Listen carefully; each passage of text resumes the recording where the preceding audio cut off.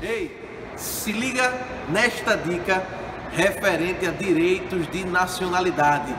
mp3.com são os cargos privativos de brasileiro nato.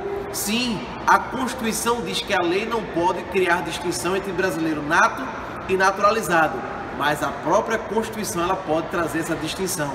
E ela traz. Nós temos como exemplo em relação aos cargos, é um dos exemplos. mp3.com. O ponto é importantíssimo. Nós temos aí dois grupos de pessoas que só quem pode exercer esses cargos são brasileiros ou brasileiras natos ou natas.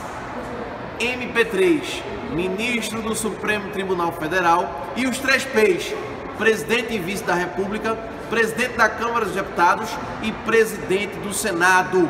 O ponto é fundamental porque divide os dois grupos. Esse primeiro grupo é o grupo que nós chamamos de linha sucessória da presidência da República. Depois do ponto, nós temos o com. C. Carreiras diplomáticas. O. Oficiais das Forças Armadas. E M. M. Nós temos o Ministro de Estado de Defesa. Esse último grupo é o grupo do que nós chamamos de segurança nacional. Fica aí a dica e um forte abraço.